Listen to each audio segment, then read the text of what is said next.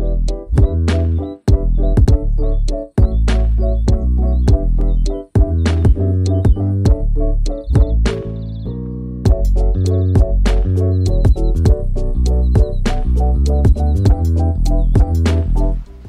right, guys, so today I want to talk about uh, electronics and our machines here on the trailer. So first I want to start out with this AC uh, split unit. Uh, it also has heat as well. So you see it right now, it's set to 62 on heat.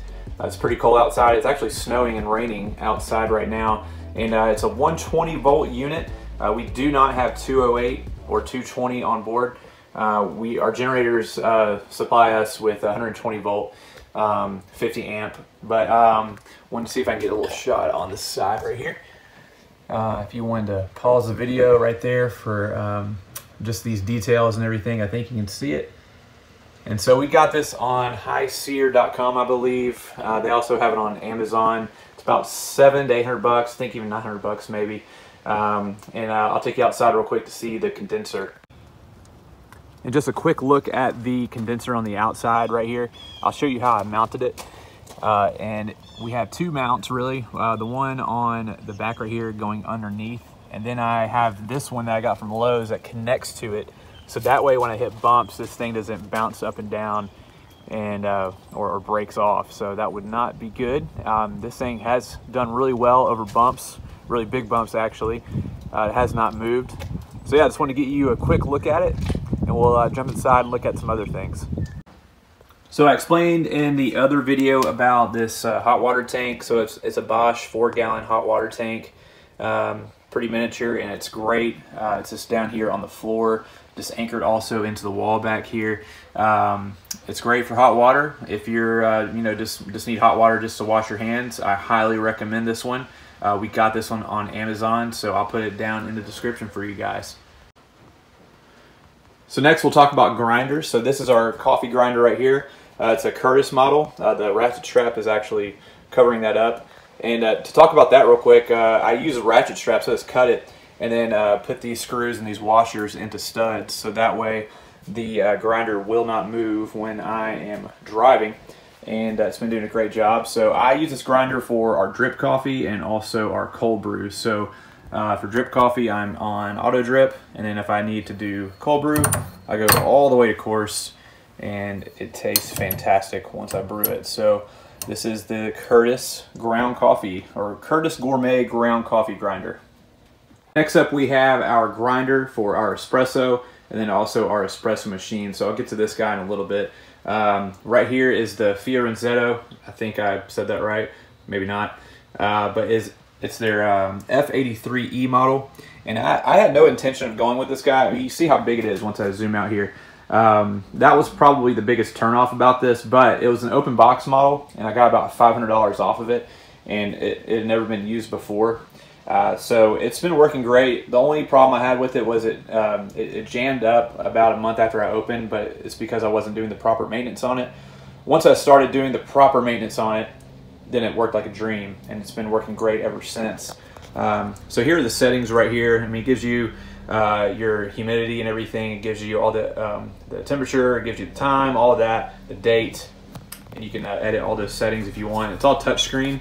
I'm gonna put a little cup under here if I can get it to work. Hopefully it doesn't fall out while I'm doing coffee in it, but I wanted to show you how quick this thing was. So I have this button right here, the uh, two cup button, uh, set to about three seconds. That hand right there is a manual um, grind, and then this is the single dose grind as well next to it to the left. Uh, but here, I'm going to hit this button. So boom, three seconds. Um, that was about um, about 17 grams out right there for the coffee that we have that we're using right now. Uh, so again, yeah, the F83E Fiorenzato. Just uh, look that up. It's a great grinder. And then we have the La Marzocco right here. Uh, this is the uh, GS3 AV model. I would have it uh, turned on right now, but if I turn it on, I will trip a breaker since I'm on house power right now. Uh, so you have your two gauges, one for your steam one, and then one for the uh, boiler inside um, for the actual um, portafilter. And uh, this this guy is awesome. I highly suggest this if you're doing a coffee trailer and if you're uh, not open every single day from like seven to seven. Um, every video I watch, every review I've watched on this, uh, they were saying that this is great for uh, low volume um, coffee shops such as ours, and uh, it's been super consistent. Uh, it, it, steams consistently. Uh, the temperature holds right there at 200 to 201, uh, right where I want it. it. Has a PID controller. You can't see it, but it's right under here that you can control. And then it also um, has all these different programmable buttons. Uh, you can see the one on there that I use the most. That's the one I have programmed to the coffee we're using right now. Um, and so it, it's great. It's not too heavy and it's anchored down with uh, more ratchet straps and uh, just drilled right into uh, the, these wooden countertops that I have. And uh, here I'll zoom up right here on the, the model so you can see it. Um, there you go.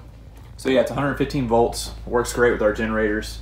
Um, it's never tripped anything. Um, runs smoothly. I'm trying to think of anything else I need to tell you about this thing.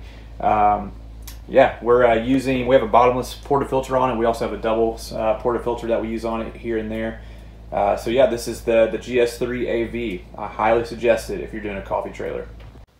Next up we have the Bunn CW series coffee maker. And I'll zoom up right here so you can see the specs of this thing. CWTF15 APS model. Uh, 120 volts, it's 1,370 watts. So it works perfectly. When I'm running this with the espresso machine and also have the uh, AC or heat on and then my grinders as well, uh, it, it, works great. Uh, I have never tripped anything with all the equipment I have on here. And I, I, I of course did the math and everything with uh, the electrician and everything signed off great. So uh, it was nice to see that everything performed so well. So what I'll do now, I'll take you outside and we'll check out, well, before I do that, I'll show you my breaker box right here. So I'll open this up. I don't really have it labeled that well, but um, you see all my different uh, breakers. I have my main switch, I have the AC, and then the uh, hot water tank and the pump, espresso machine, grinder, I have lights, I have the POS and the fan system right here, uh, coffee maker and grinder, and then the fridge as well. So Oh yeah, and I'll just show you the fridge real quick as well, so, since we're talking about electronics. So I went with uh, Frigidaire, it's a little mini fridge, works perfect for this. Also have a cooler since this thing isn't that big um, to carry all the milks I need. So um, here's the milks that we use, and yeah, so it's just a little standard mini fridge. Again, it works great, and I have a, a big cooler that carries all the other milk when this runs out on a really busy shift. So now what I'll do, I'll take you outside and we'll go check out the generators. So the generators that we went with, uh, we went with the Champion generators, uh, the 3400 watt inverter series. And uh, this one takes gas only. They have another model that takes propane uh, if you want to get that. Uh, but we have two of these. So I have another guy over here. Um, it's raining right now, so I didn't uncover it. And I'm going to show you the platform that our fabricator built just to level these out because I have a two foot dovetail on the back of this trailer as you can see. And so uh, just looking at the, the cabling and everything, so I have a cable coming from here and this is where I didn't do a great job. I need to anchor this down somehow. Going from here to the other uh, generator or really to this parallel kit right here.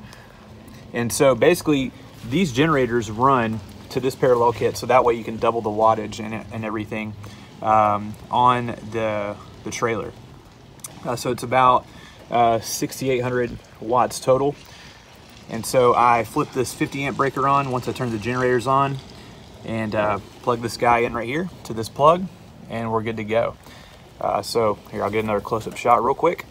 See if you're on switch, it is a pull start, it's not a remote start. I have them on economy mode just to bring the, the dBs down just a little bit. And there you have it.